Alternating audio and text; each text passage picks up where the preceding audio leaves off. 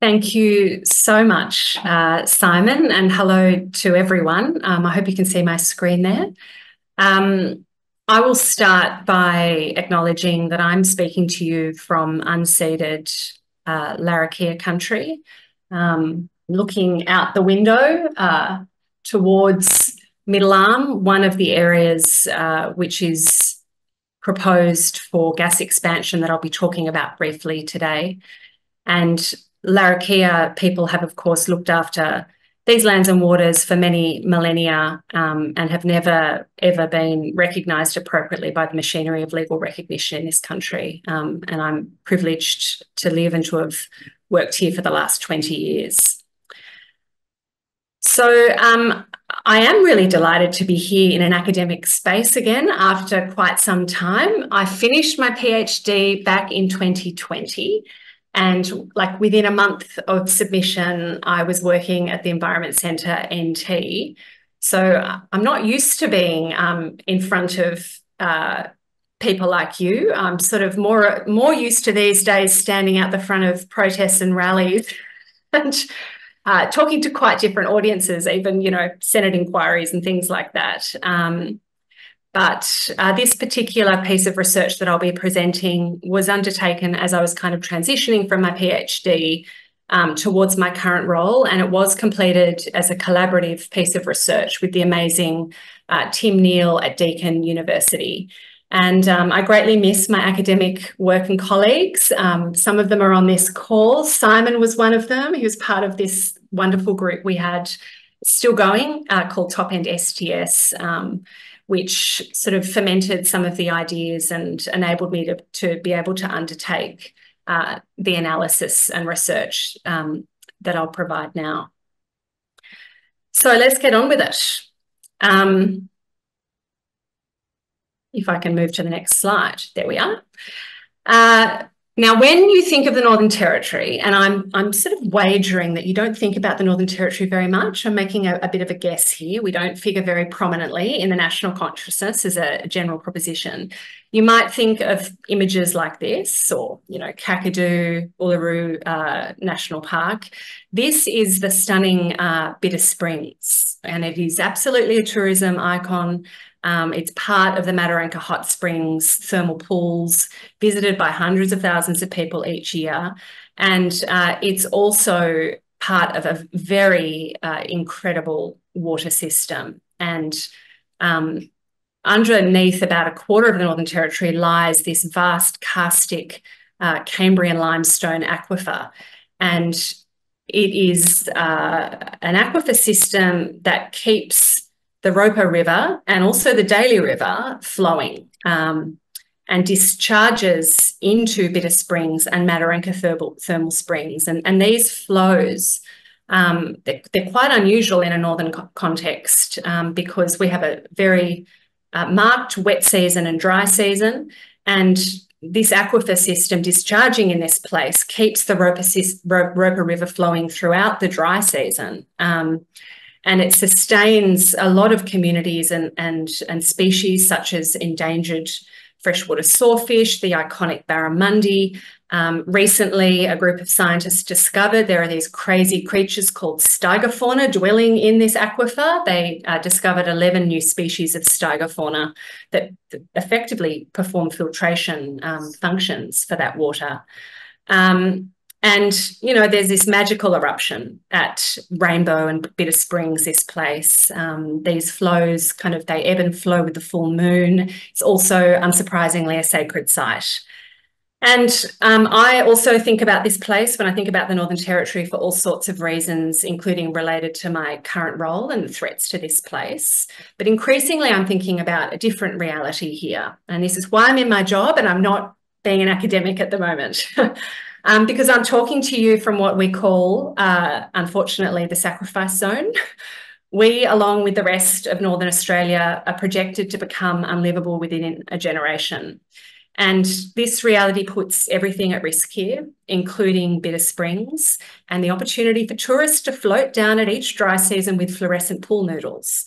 Um, and I uh, was appearing at a Senate inquiry a couple of weeks ago and spoke about this reality and said that I'm I'm a very privileged person and I can leave Darwin um, and my children can leave Darwin, but that's not a felt a privilege that's felt by by many living in Northern Australia, particularly traditional owners who have cared for this place for so many millennia. So the cause for this um, fairly dire forecast is fairly unequivocally um, fossil fuel extraction and burning.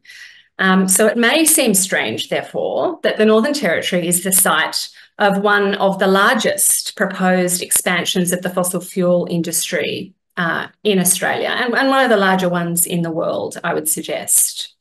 So this map shows just um, the scale of uh, proposed gas development in the Northern Territory. You've got the Beetaloo Basin there to the south of Katherine, uh, which I'm going to talk about in some detail. To the north of Darwin, there's multiple uh, proposed uh, offshore gas fields. One of them that's been very prominent in recent years is the Santos's Barossa project. Um, and, and really all roads and pipelines are proposed to lead to Darwin, to a place called Middle Arm which is also the site of vast fossil fuel expansion. Um, and it's this reality uh, that we're all facing here in the Territory. Um, now, it might seem incongruous that this, this sort of uh, extraction is being pursued. Um, but what I'm interested in exploring today, and something that has confounded me as a former environmental lawyer, is how environmental law, which is ostensibly designed to protect our environment and climate, work to do exactly the opposite. And in particular, what are the techniques used by environmental governance regimes to enact particular futures for a place like the Northern Territory that will accelerate uh, its unlivability? Um, and, you know, put another way, how does the law create felicitous conditions for governments to re-territorialise places in the image of fossil fuel extraction while maintaining responsible regulation to responsibly regulate their way further and further into catastrophe. So to explore this, I'm going to take you to the focal point of the Australian government's plans to gas fire uh, its economic recovery from the ravages of the COVID pandemic the fracking fields of the Beetaloo Basin of the Northern Territory, where competition is fierce to access uh, both globally significant unconventional shale gas reserves, four kilometres underground, as well as multi-million dollar federal grants to subsidise that access. Um, and located uh, in, in uh, the continent's hot north, for those of you who don't know the Northern Territory, uh, the NT covers um, one-sixth of Australia's landmass. It is the most sparsely uh, populated jurisdiction in Australia, with only roughly 250,000 residents, 30 of whom are Indigenous. Um, over half of the land is owned outright as freehold by First Nations people, and much of the remainder of the land is subject to native title rights and interests. Um, and the reasons for this are, uh, complex uh, and embedded in the colonial history of this place. But, you know, Indigenous land rights have generally in Australia had to fit within the cracks left over from settler legal dispossession.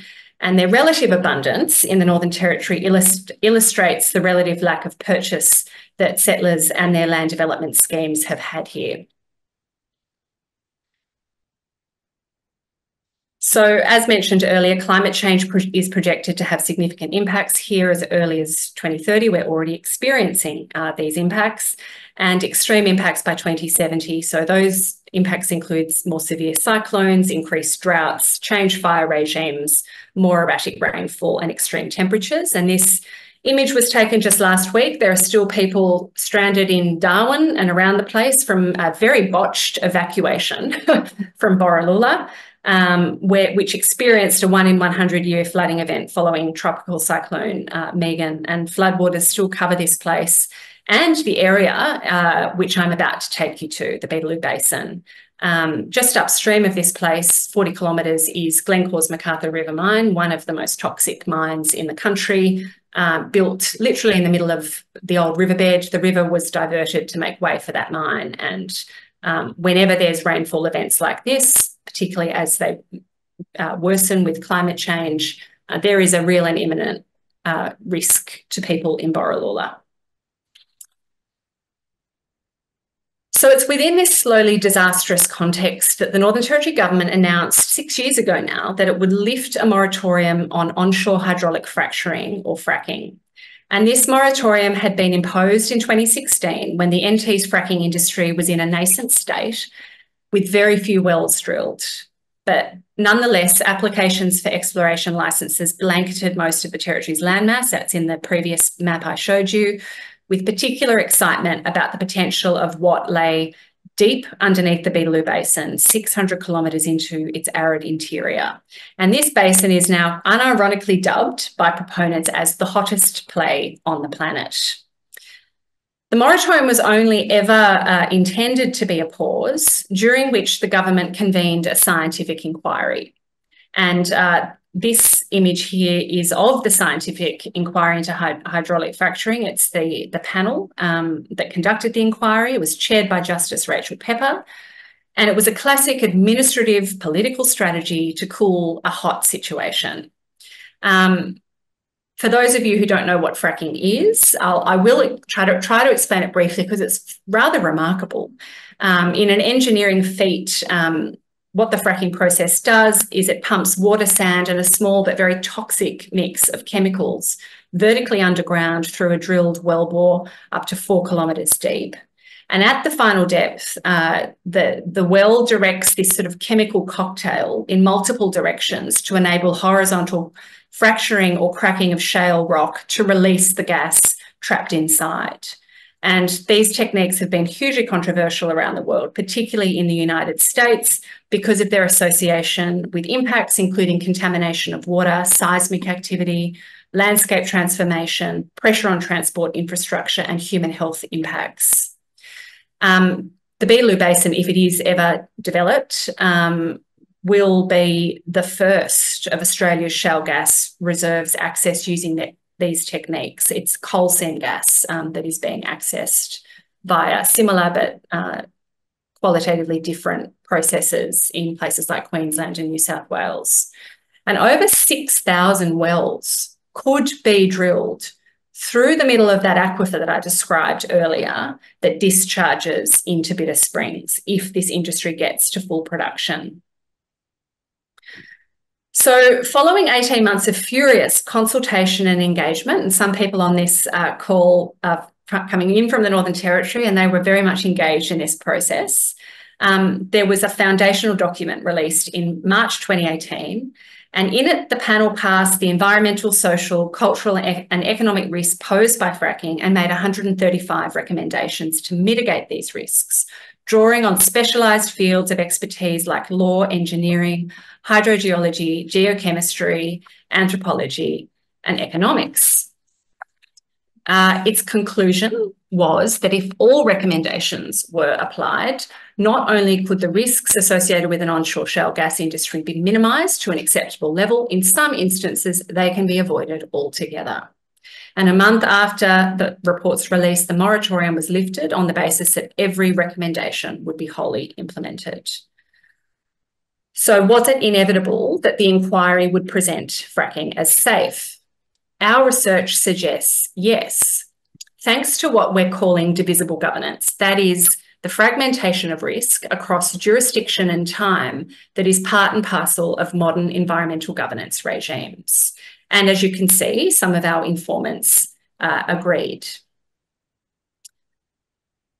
Approaching fracking as an object of regulation necessarily means framing it in terms of discrete risks that can be managed and mitigated through categories established by regulatory science. And as STS scholars have demonstrated, these methods and the governance regimes that utilise them work by dividing complex environments into categories of analysis enabling the piecemeal enumeration of ecologies as entities that, that, that can then be monitored, modelled and governed.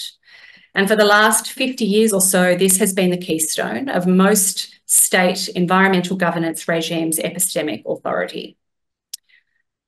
So let's go back to Bitter Springs. Um, a place like Bitter Springs uh, was split by the inquiry into categories like water, groundwater and surface water, split again into subcategories of water quantity, surface and groundwater quality, and aquatic ecosystems and biodiversity, and then divided finally into discrete threats like unacceptable groundwater contamination from leaky production wells. Now, of course, these individuated risks bear little resemblance to the original place or thing said to be at risk, be it aquifer, wetland, ecosystem, sacred site, tourism hotspot, and the complex interconnectedness of these entities, which we are only barely beginning to understand. The categories of their regulatory capture are not disinterested or objective factors, but are rather products of social, material, and textual practices that are imbued with hegemonic power relations. In this world, the value of a category like unacceptable groundwater contamination from leaky production wells is precisely that it is not place specific. it's uh, got a meaning, but it does not relate to this place. And risk assessment um, is a product um, of the dominance of Western, typically masculine and white capitalist industrial modes of production, themselves premised on the elision or elimination of other situated ways of knowing and being. And fragmenting complex processes like fracking in the territory into discrete objects of regulatory risk management is a proven technique to render the controversial into the conventional and thereby render the inexistent into the inevitable. But it's not just risk that is split up or fracked. Environmental risk government governance in Western capitalist societies is further fracked in that it is fragmented jurisdictionally and temporally. In this case, jurisdiction is fragmented in different ways. The first being that jurisdiction to regulate is split between different political levels or scales. Jurisdiction is also split into different governing laws at the same scale. Within the Northern Territory's lawmaking jurisdiction, for example, there is separate legislation governing water management, petroleum operations, and environmental assessment. And in the case of the Beetaloo, jurisdiction is split in three different ways between local Northern Territory and federal uh, Commonwealth um, and international scales. So uh, here we've got former Prime Minister uh, Scott Morrison, a big proponent of the Beetaloo Basin um, and, and one of the, the, the, players in the Beetaloo.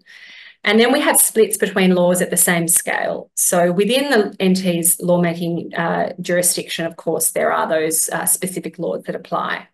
And then there can be even further fragmentation uh, between different government actors tasked with implementing these laws. So, for instance, we've got some jurisdictional responsibility held uh, by the Department of Resources in the Northern Territory, and some held by the Department of the Environment. But environmental governance regimes also divide time in particular ways.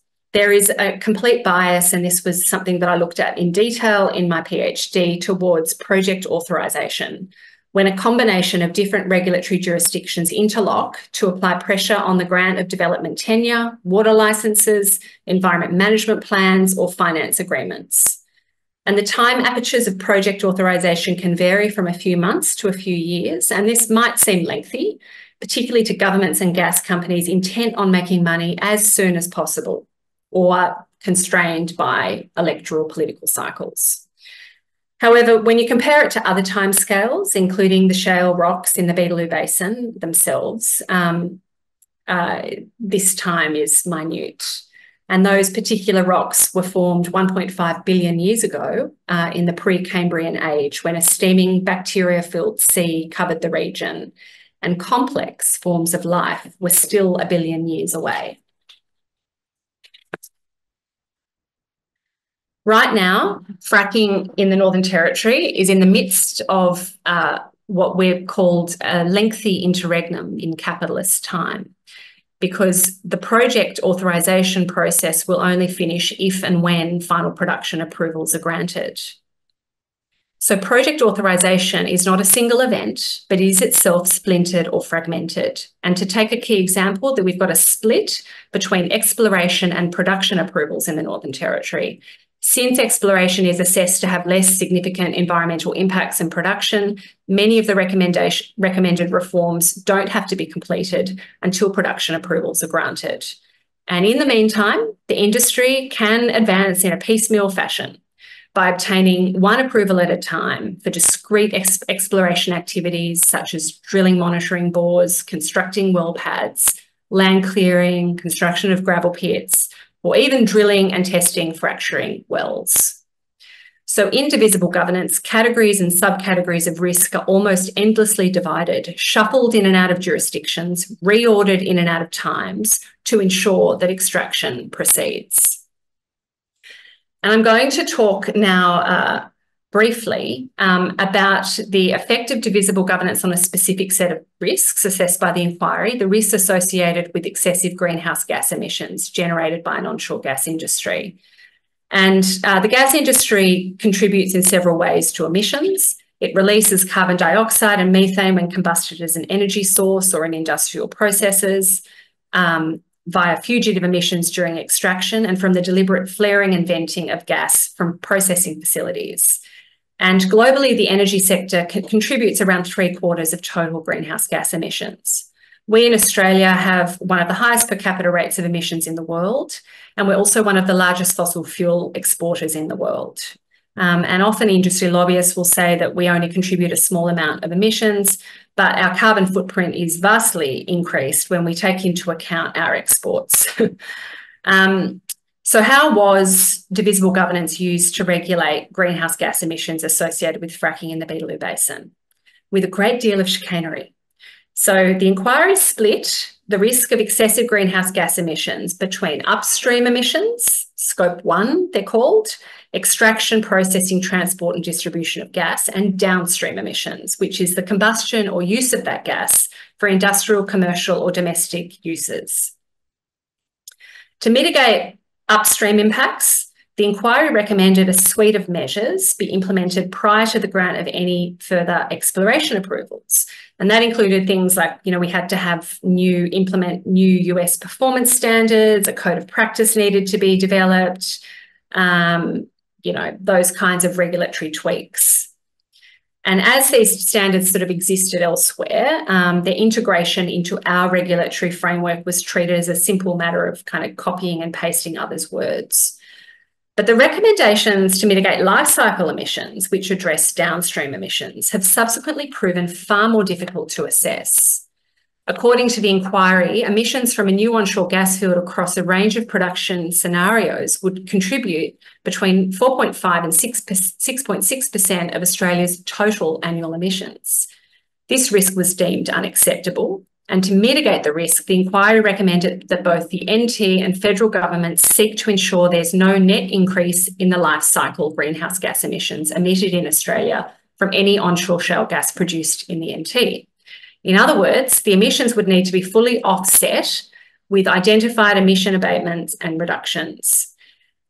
The inquiry didn't provide any kind of useful answers to how this could be achieved, but implicitly accepted that it would not be possible to achieve this presently or locally, suggesting anticipated future initiatives in other parts of Australia.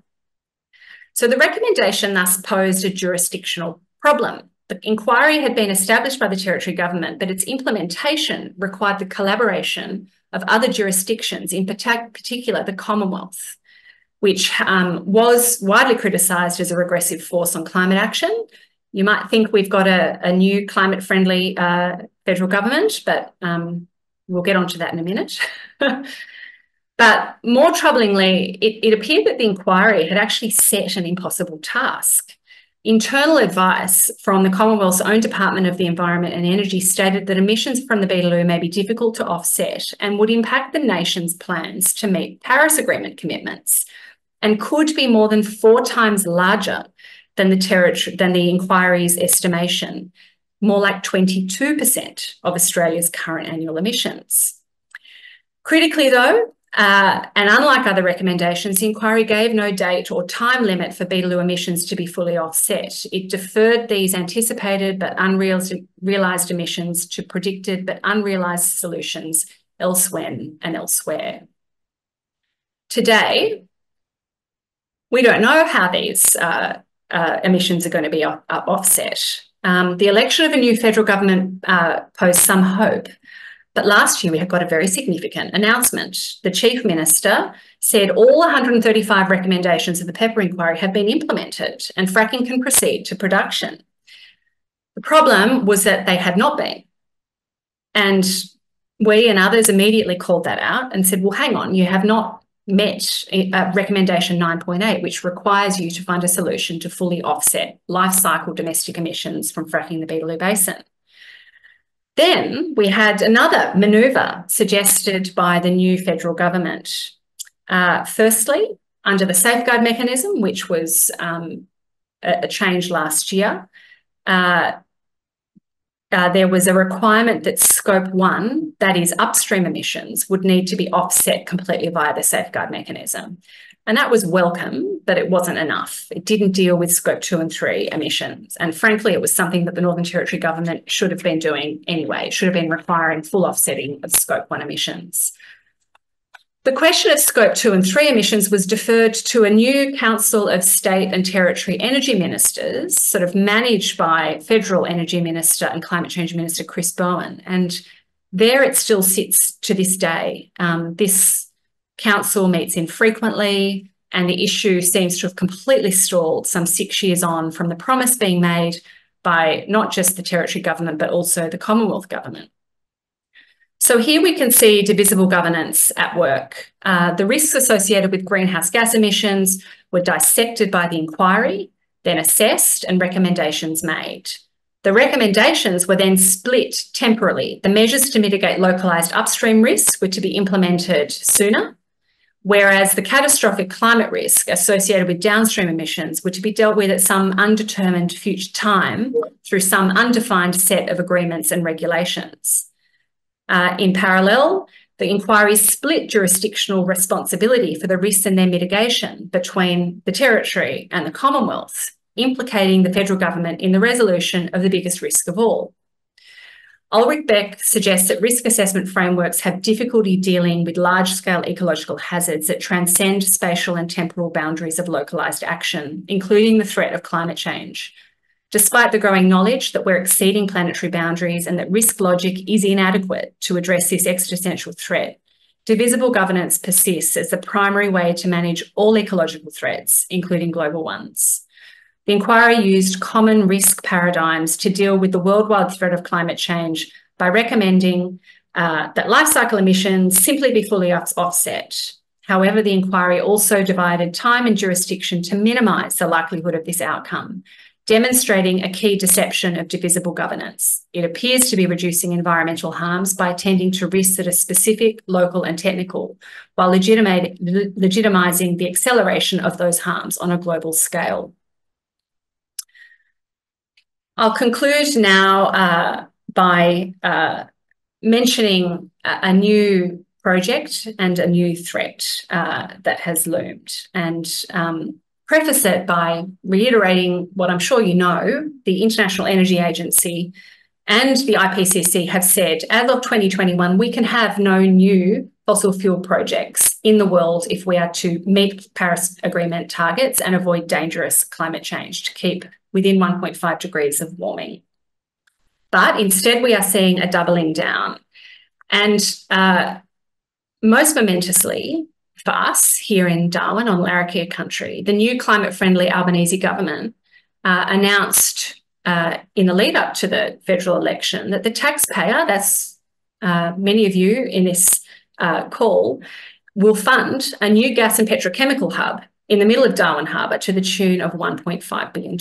And the duplicitously named Middle Arm Sustainable Development Precinct is just a few kilometres from where I'm sitting and will use fracked Beetaloo gas as a feedstock, as well as greenwashing other gas fields such as Santos's Barossa gas field, itself subject to a fragmented offshore regulatory regime, um, using untested, unproven um, technologies such as carbon capture and storage. And we will we'll dump the carbon dioxide in uh, the, the seabed of Timor-Leste um, and leave that for them to resolve at a future date. If this project goes ahead, it will change Larrakia country forever, and it's currently ongoing, uh, undergoing its own fracked risk governance environmental assessment. Um, a project like this, most people here that we speak to think uh, that it can't be done safely. Um, and this slide shows the scale of some of the risks. However, it is likely that it will be found by decision makers that these risks can be reduced to an acceptable level, just like in the Beetaloo Basin. So that is what Middle Arm looks like now. It's part of part of Middle Arm. Um, there is also some gas infrastructure uh, at Middle Arm from INPEX and Santos, but on the whole, it's quite an extraordinary place of ecological and cultural significance.